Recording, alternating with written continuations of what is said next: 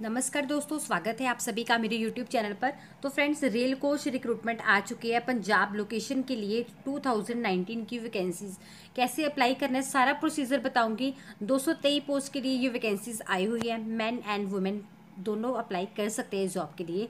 और last date है apply करने के लिए तेईस मार्च दो हज़ार मार्च दो हज़ार उन्नीस तक आप इजीली अप्लाई कर सकते हो।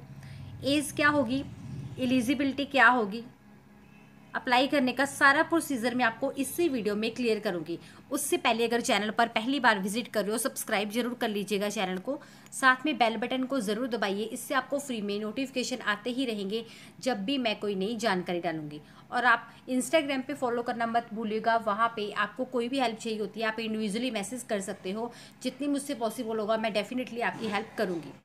और आप हमारा टेलीग्राम ग्रुप भी ज्वाइन कर सकते हैं, उसका लिंक भी आपको इसी वीडियो के डिस्क्रिप्शन में मिल जाएगा। तो चलिए फ्रेंड्स डिटेल्स में बात करते हैं कौन कौन अप्लाई कर सकता है क्या क्या प्रोसीजर है, इस जॉब को अप्लाई करने के लिए। तो फ्रेंड्स आप देख सकते हैं रेल कोच फैक्ट्री पंजाब की तरफ़ से रिक्रूटमेंट आ चुकी है। अब मैं आपको डिटेल्स में बताऊँगी, आपको अप्लाई कर कैसे लेना है जॉब के लिए। लास्ट डेट बता देती हूँ अप्लाई करने के लिए है तेईस मार्च दो हज़ार उन्नीस। तेईस मार्च दो हज़ार उन्नीस तक आप आराम से अप्लाई कर सकते हो।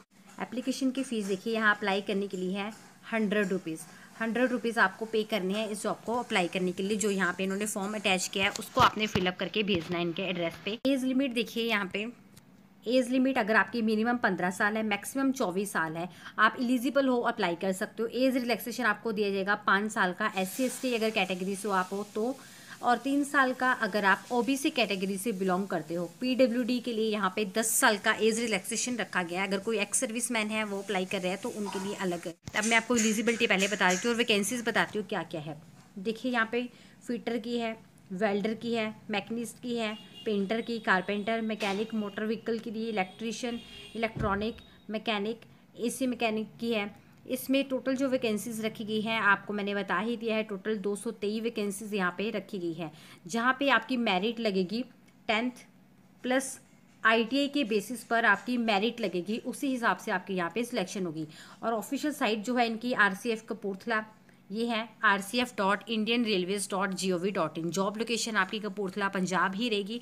सारा पढ़ करके फिर ही इस जॉब को अप्लाई करना। कोई आपका क्वेश्चन है कमेंट करके पूछ सकते हैं। वीडियो को लाइक शेयर ज़रूर कीजिएगा। Thanks for watching